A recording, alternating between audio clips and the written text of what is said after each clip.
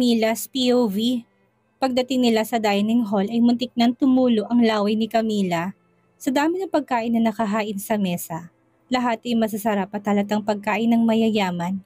Kumunot ang noon niya nang makitang dalawa lang sila ni Mr. Z ang narito. Umalis na lahat na maging si Miss Tatiana. Teka, sila lang ang kakain ng lahat ng ito? Sa dami nito ay parang ito na ang huling hapunan nila at bibitayin na sila bukas. Daig pang mayroong piyesta sa dami. Parang mayroong handaan.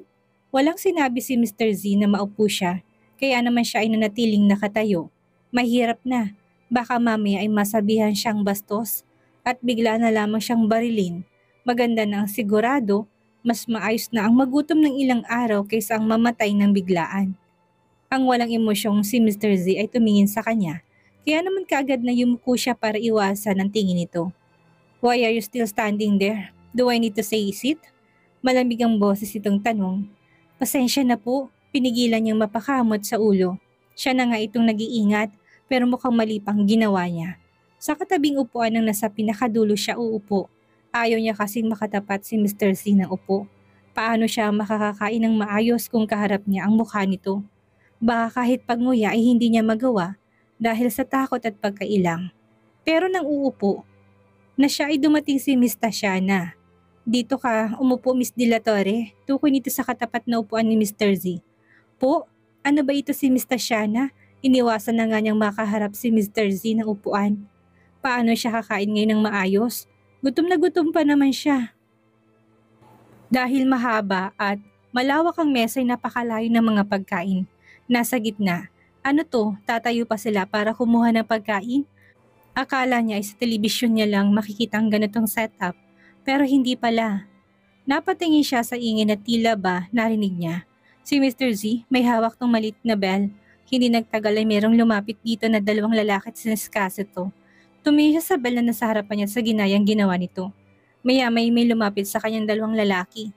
Impit siyang napangiti. Ang cute kasi ng dalawa at mukhang kasing edad niya lang, kaso lang ang papayat. Tinanong siya ng dalawa kung alin po tayong gusto niya at sinagot niya ng lahat po. Gusto kong tikman, wala na siyang pakialam kahit nakaharap niya si Mr. Z dahil mas nangingibabaw ng gutom niya ngayon. Natigil siya sa pagsubo na mapatingin siya kay Mr. Z. Sa dinami-dami ng pagkain sa mesa, kakarampot lang na sa plato nito. Nagpaluto ng napakarami tapos hindi naman kakain ng marami. Hay naku, ibang klase talagang mayayaman. Hindi nanghihinayang sa grasyang nasasayang.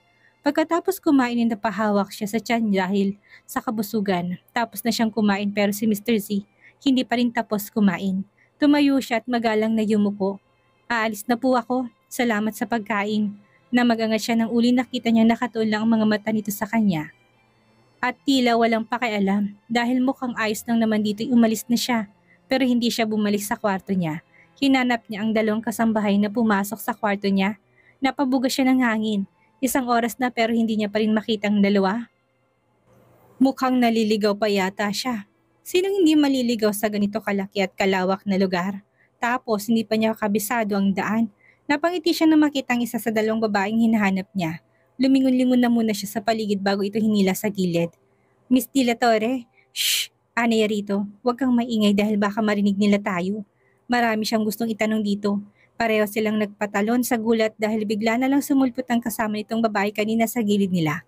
Ako nga pala si Camila, inilahad niyang palad sa dalawa. Subalit hindi na mga to tinanggap ang kamay niya. Miss Dila pasensya na pero bawal ka naming hawakan. Pasensya na po, ako nga po pala si Belinda. Siya naman po si Luna, 29 years old at pareho po kaming single. Isa kaming dalawa sa maraming naninilbihan sa lugar na to. Paliwanag nito. Napabuntong hindi nga siya at saka nagtanong. Nagpaliwanag na rin siya sa dalawa kung ano ang rason kung bakit narito siya. May alam ba kayo na ibang paraan para makaalis sa lugar na to? Ganito kasi yun, may kaibigan ako. Binigyan niya ako ng gold card para makapag-apply ng trabaho dito. Ang sabi kasi ni Agnes, malaki magpasahod ang magiging amo ko dito. Trabaho lang talaga ang kailangan ko rito, hindi asawa. Nagkatinginan ng dalawa at tumawang ang labi. Tila hindi makapaniwalang mga to sa sinabi niya. May nagbigay sa'yo ng gold card? Naalala niya ang reaksyon ng mga gwardya nang malamang hindi peke ang card na hawak niya. Ganito rin ang reaksyon ng mga to. Pati tuloy siya ay na-curious. Bakit? Anong meron sa card na dala ko? Tanong niya. Mahinang bumulong si Luna. Sa pagkakaalam namin ay merong apat na klase ng cards sa mundo ng MWO. Ang isa ay ang gold card na mayroong itim na diamanting nakaukit. Sumisimbolo ito sa pamilya ng mga De La Cuesta. Ang ikalawa ay red card na mayroong nakaukit na white octagon. Ang pamilyang Burgos naman ang sumisimbolo dito. Ang ikatlo ay ang white card na mayroon namang nakaukit na asul na tatsulok na sumisimbolo naman sa pamilya ng mga Magno. At ang huli ay ang blue card na mayroong nakaukit na pulang buwan ang sumisimbolo naman sa pamilyang Argente. Ang apat na pamilyang nabanggit ko ay napakamakapangyarihan. Naalala niya ang kulay ginto ang card na hawak niya. Ibig sabihin ay pamilya ni Mr. Z ang sumisimbolo sa card na hawak ko. Ano naman kung card nilang hawak ko? Pinadala lang naman yun sa akin ng kaibigan ko para makapag-apply ako ng trabaho dito. Hindi niya maintindihan, naguguluhan talaga siya sa mga nangyayari. Nagpaliwanag sa kanya si Luna. Hindi normal na card lang po iyon, Miss De La Torre. Binibigay lang ang card na yon sa napiling magiging asawa ng mafia boss. Paliwanag nito. Nanlalaki ang mga mata niya sa sinabi nito. Ma- ma- mafia? Boss? Hindi ba katulad yun ng mga napapanood sa telebisyong delikado at malupit na tao? N- niloloko niyo ba ako? Gusto niyang isipin na niloloko siya ng dalawa pero wala siyang makitang pagbibiro sa mukha ng dalawa. Si Belinda na ang sumagot sa kanya. Kung nabigyan ka ng isang card, isa lang ang ibig sabihin nito. Ang ibig sabihin ay naging representative ka ng isang kilalang angkan na nakatanggap ng imbitasyon na galing mismo sa pamilya ng mga De La Cuesta. Kaya kung ako sa'yo, Miss De La Torre, hindi na lang ako tatakas. Dahil sa oras na tumakas ka't mahuli ni Chuck na mamamatay ka. Ayaw namin na magaya ka sa ibang naging asawa ni Mr. Z. Napahinto sa pagsasalita si Belinda na makarinig ng niyabag. Sige po Miss De La Torre, maiwan na po namin kayo. May mga trabaho pa po kami na kailangan tapusin. Paalam ng dalawa at saka nagmamadaling umalis. Natulala siya at gulong-gulo ang utak niya. Marami siyang katanungang hindi masagot. Bakit merong gold card si Agnes? Bakit ibinigay ito sa kanya? Napaupo pa siya sa tindi ng hinig ng tuhod niya dahil sa mga nalaman niya. Ngayong alam na niya kung bakit nakakatakot ang aura ni Mr. Z at kung bakit mukha itong nakakatakot at malupit. Hindi lang dahil makapangyarihan ng pamilya nito kundi isa rin itong mafia boss. Paano na ito ngayon? Trabaho lang naman ang gusto ko at hindi ang maging asawa ng mafia boss. Saka anong ibig sabihin ni Belindang ayaw nito na magaya siya sa dating asawa si Mr. Z? Ibig sabihin hindi siya ang una. Kung hindi siya ang una, ano ang nangyari sa mga una? Anong ginagawa mo dito, Miss De La Torre? Tanong sa kanya na lalaking tadtad ng tattoo at malaki ang katawan. Ah, eh, nagpapahangin para bumaba ang kinain. Bakit bawal ba? Mataray niyang tanong. Gusto lang naman niyang tingnan kung tatalaba ang pagiging matapang niya kuno. Dahil soon to be wife nga naman siya ng amo nito. Kunwari ay tumayo siya ng tuwid at pinanikitan to ng mata. O wala po Miss De La Torre.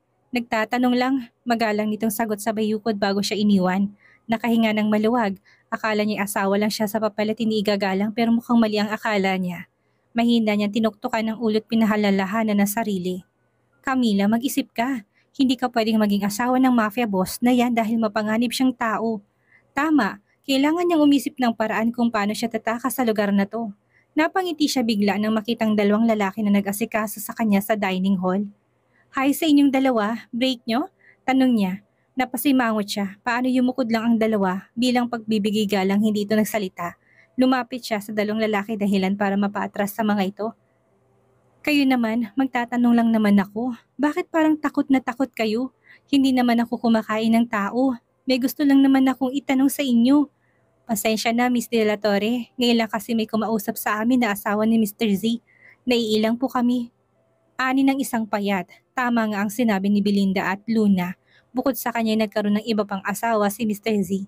Hay nako naman, ipapaasawa na lang ako ng Diyos. Bakit dun sa babaero pa? Ang malas ko naman. Demonyong mafia na babaero pa ang mapapangasawa ko kung sakali. Isip-isip niya. Ibig sabihin masungit ang dating na asawa ni Mr. Z, ganun ba? Kunwari tanong niya na para makakuha ng mas marami pang impormasyon. Alin po sa kanila, yung una po ba? Tanong ng mas payat. Anong una, ibig sabihin ay may pangalawa pa?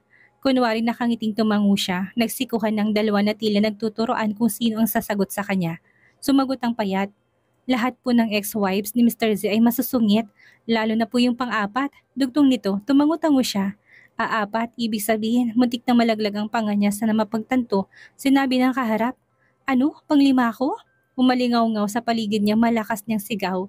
Napatili siya sa gulat na bigla na lang may kalalakihang sumulpot at tinutukan ng baril ang dalawang lalaki. Sandali lang po, wala po kaming kasalanan. May tinatanong lang po sa amin si Miss De La Torre.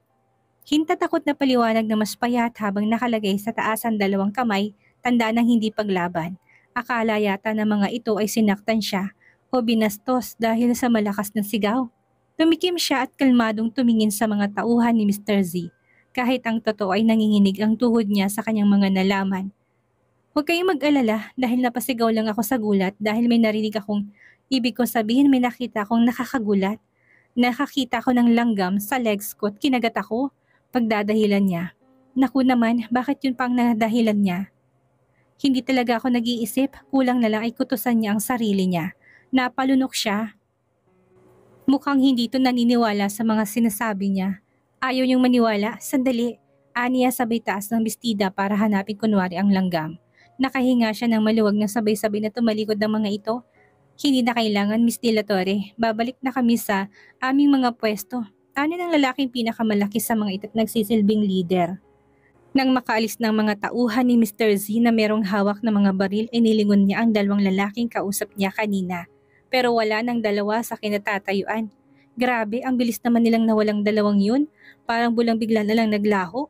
Ay demonyo, gulat niyang bulala sa pagpihit niya ay nasa harapan na niya si Mr. Z. Yumuko siya bilang pagbibigay galang. Hindi nga makatao ang king kakisigan pero demonyong babaero naman. Sandali po, anong ginagawa mo? Kabado niyang tanong ng hawakan itong lilayan ng dress niya. I will find the and bite your legs. Malamig ang boses na sagot nito. Hindi kaya ito ang naniwala sa pagdadahilan ko kanina? Iniluhod nitong isang tuhod sa lapag, ganoon na lang palalaki ng mata niya na itaas nitong bestida niya at malapit nang makitang panty niya. Paano kapag wala itong nakitang langgam at napatunayan nagsisinungaling siya? Ibig sabihin ay mapaparusahan siya katulad ng sinabi ni Belinda at Luna sa kanya? Wala na pong langgam, Mr. Z, kasi kinain ko na siya. Nakahinga siya ng maluwag dahil natigil ito sa pagtaas ng suot niya. Tumingin sa kanya na para bang tinitimbang kung nagsasabi siya ng totoo. Kinagat niya kasi ako eh bilang ganti, edi kinain ko siya. Hindi naman pwedeng walang ganti tapos matapos niya akong kagatin, hindi ba? Nakagat niya ang loob ng bibig niya dahil sa kaba. Nakatingala kasi ito ngayon sa kanya. Katulad ng una niya itong makita ay wala siyang mabakas na emosyon sa mukha nito. Hindi niya tuloy alam kung naniwala nito sa sinabi niya. O hindi. Well, that's good. Kapag sinaktan ka, saktan mo pabalik. Kill them and let them suffer. That's the rules of my world, Kamira. And being my soon-to-be wife, my world will be your world too. Wika ni Mr. Z bago siya iniwan. May hina siyang napahampas sa tuhod para patigilin to sa panginginig at isang mahabang pagbuga ng hangin ng kanyang ginawa. Kanina pa pala niya pinipigil ang kanyang paghinga dahil sa nerbiyos. My world will be your world too.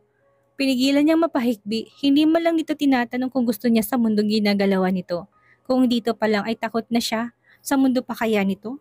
Ni minsan hindi niya ginusto na maging mayaman sa pamamagitan ng pag-aasawa ng mayaman.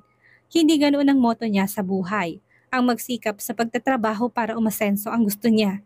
Tumingala siya sa langit sa kapumikit at nagdasal. Lord, bakit naman po ang hina ko sa inyo? Trabaho pong hinahanap ko hindi asawa. Ayoko po ng asawang demonyang gwapo. Okay na po sa akin kahit napangit basta magino at mabait. Kahit mahirap lang po basta hindi mamamatay tao. At higit po sa lahat ay please naman Lord, huwag namang babaero. Sana'y pakinggan ng Diyos ang dasal niya. Pangako, mas magpapakabait siyang tao. Ganun na lang ang palalaki ng mata niya nang pagdilat niya ay nasa harapan na niya si Mr. Z.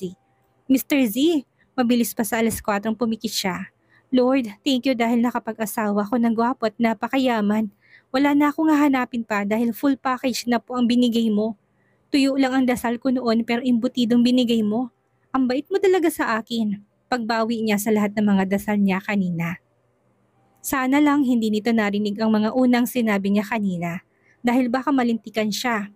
Ayaw pa niyang mamaalam sa mundo ng maaga. Sa susunod talaga ay mag-iingat na siya sa pananalita.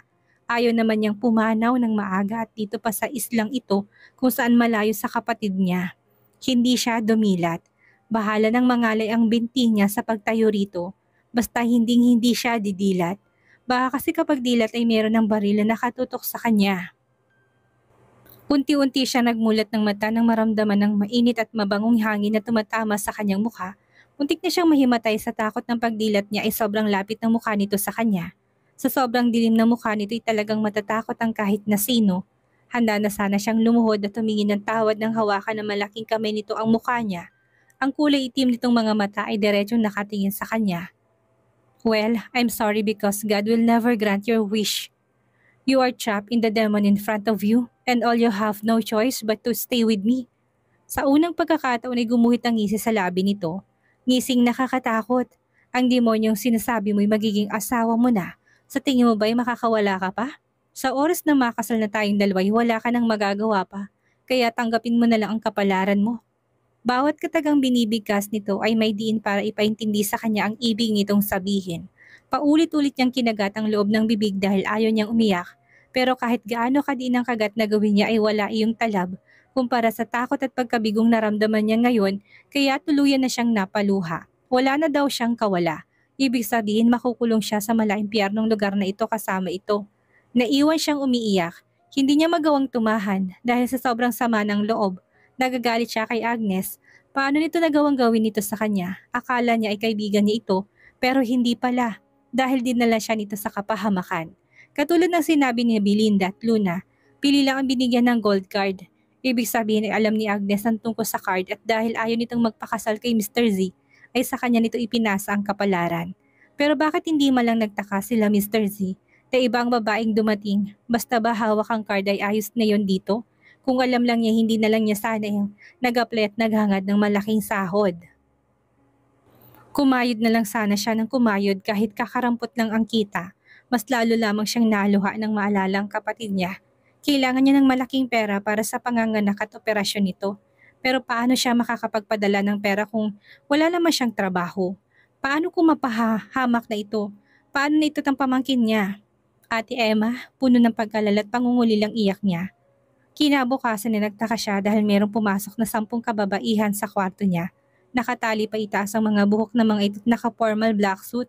Miss De La Torre, pinapasundo na kayo ni Mr. Z. Sumunod po kayo. Magalang at nakayo kung wika ng nasa gitna. Katatapos lang niyang maligo at magbihis. Akala niya sa dining hall sila tutungo pero hindi pala. Napapikit siya at nagtakip ng tenga dahil sa malakas na hangin at ingin na nagmumula sa chopper. Sasakay sila ng chopper? May hinalang pumasok sa isip niya, hindi kaya naawa sa kanya si Mr. Z, kaya hatid na siya nito pabalik. Impit siyang napatili sa isip. Akala niya ay wala na itong puso pero meron naman pala. Pagkatapos maglagay ng headphone sa tengi umagat na sila sa ere. Ngiti-ngiti siya habang nakatingin sa ibaba. Todo usol siya sa gilid para hindi magdikit ang katawan nila ni Mr. Z. Inawasan niya tumingin dito dahil bukod sa malamig ang ekspresyon ng gwapo nitong mukha ay ang dilim din ng aura nito. Nakakatakot. Salamat naman at huli na nila itong pagkikita. Kapag nakauwi siya, sisiguraduhin niya na kahit na panaginip pa hindi ito sasagi sa isip niya. Napaawang ang labi niya habang nakasilip sa ibaba. Napakalaki ng islang pag-aari ni Mr. Z. Kahit malayo na sila sa itaas ay tanaw na tanaw pa rin niya ito. Marami rin siyang nakitang mga yate at malalaking barko sa paligid ng isla. Nakakalula naman ang may ari-arian nito. Kumunot ang noon niya nang bigla siyang maalala. Bakit kaya hindi siya pinatulog o nilagyan ng piring sa mata katulad noong unang ginawa sa kanya? Nagkipit balikat na lang siya Nakangiting binaling niya muli ang patingin sa isla hanggang sa nakatulog siya. Nang magising siya at nilibot niyang tingin ng paligid. Nasa isang kwarto siya talatang mamahalin din ng kagamitan. Kung katulad dito ng mga gamit sa isla, iisipin niyang bumalik siya rito. Sino kayong bumuhat sa kanya papunta sa kwartong ito? Sana ginising na lang siya para hindi naman nakakahiya. Nag-abala pang mga itong buhatin siya. Mabuti na't gising ka na. Napahawak siya sa dibdib sa gulat. Namilog ang mga mata niya na makita si Miss Tatiana. Sa pagkakatanda niya, hindi nila ito kasama ni Mr. Z. Eh anong ginagawa nito ngayon dito? Ikaw bang maghahatid sa akin, Miss Tatiana? Nang tumango ito ay ngumiti siya at nagpasalamat dito. Ang swerte naman niya dahil ihahatid pa siya. Tamang-tama dahil wala rin siyang pamasahe pa uwi. Pumasok na kayo't ayusan na siya. Wika ng matanda. Bumukas ang malaking pinto at merong pumasok na nasakin si katao. Bawat isa ay merong dalang kahon. Sandali, anong gagawin nila, Miss Tatiana? takang-takang tanong niya na pinalibutan siya ng mga ito. Nangilabot siya nang ngumiti ang matanda sa unang pagkakataon sa kanya. Imbis kasi na magandang ngiti nito ng mukha itong mangkukulam sa mga fairy tale. Aayusan ka't pagagandahin bago kita ihatid. Nakahinga siya ng maluwag sa paliwanag ng matanda. Ilang beses na siyang muntik na matumba habang inaayusan siya. Nakakaantok at nakakabagot. Maganda naman siya pero bakit parang ang tagal niya pa rin itong ayusan? Pinasuot pa siya ng napakalaking gown na kulay ginto. Oo, maganda ang gown pero bakit naman kailangan nakagown pa siya na uuwi? Baka mapagkamalan siyang reyna na Santa Cruzan ng mga tao sa kanila. Good job! Wika ni Mr. siya nang pumapalakpak pa na tatlong beses. Matapos yumuko ng mga ito, nang tumayo sila na pangiwi siya, bakit ang bigat naman yata ng suot niyang gown? Yumuko siya tinitigan ng kulay na gintong palamuti sa suot niya. Mukhang mga tunay. Teka, bakit parang totoo nga ang ginto ng mga to? Natuon ang atensyon niya. Sa wakas ay ikaw nang huli. Naguluhan siya. Po, ang huling uuwi ba ang ibig nitong sabihin? Sa isang limousine pa sila sumakay ni Miss Tatiana. Nakapagtataka man hindi na siya nagtanong pa. Ang mahalagay uuwi na siya. Ang sabi nila Belinda at Luna ay hindi na nakakaalis ng isla ang sino mang narito. Kaya isa lang ang ibig sabihin nitong nangyari sa kanya ngayon. Ay swerte. Kumunot ang noo niya nang dahil may nagbukas pa sa kanya ng pintuan. Mas lalo siyang nagtaka dahil napakaraming lalaki na mayroong iba't ibang armas ang nakakalat sa paligid. Huminto siya sa paghakbang at lumingon sa matanda. Mr. Shana, hindi po ditong bahay ko. Bakit nasa simbahan tayo? Tumayo ng tuwid ng matanda at seryosong nagsalita. Sumunod ka na lang kung ayaw mo magalit si Mr. Z. Kasabay ng pagsasalita nito ay siya naman ang nagkasa ng mga armas ng mga lalaki sa paligid nila kaya napapitlag siya at napalunok. Nabigla siya na merong ilagay si Mr. Shana na ulo niya at umara ang kulay gintong tela nito sa mukha niya. Napatingin siya na mapagtantong isang belong pinatong sa ulo niya. Bakit naman kaya nilagyan siya ng belo? Nalalaki ang mga mata niya at napaawang ang labi nang bumukas ang malaking tarangkahan ng simbahan. Sa loob ay napakaraming mga bisitang nakaputi. At lahat ay hindi niya kilala. Bakit ang daming tao? Ano ba ang meron? Ganun na lang panlalamig ng katawan niya nang sa dulo ay nakita niya si Mr. Z na naghihintay sa kanya. Gusto man niyang purihin ito dahil napakagwapo nito sa suit na black suit ay hindi niya magawa. Sobrang bilis ng kabog ng dibdib niya dahil sa kaba. May hinalang nabuo sa isip niya. Mr. Shana, natigil siya sa pagsasalita tumikim ang matanda na may kalakasan na tila nagbabanta. Nang ilibot niya ang tingin sa paligid ay nakalat ang mga tauhan ni Mr. Z na tila nagsasabi na wala na siyang takas pa. You may kiss the bride. Yun lang ang natandaan niya sa sinabi ng pari sa kanila dahil hindi siya makapagsalita sa labis na pag-iyak. Tama nga naman ang sinabi ni Mr. Shana na ihahatid siya. Pero hindi sa bahay nila kundi sa simbahan. Kasal na siya ngayon kay Mr. Z. At katulad nga ng sinabi nito ay wala na siyang takas pa. Kasal na siya sa isang mafia boss. Anong mangyayari ngayong kasal na si Camila kay Mr. Z? May mabuo kayang pag-ibig sa pagitan ng bagong mag-asawa? Yan ang ating aalamin sa susunod nating kabanata.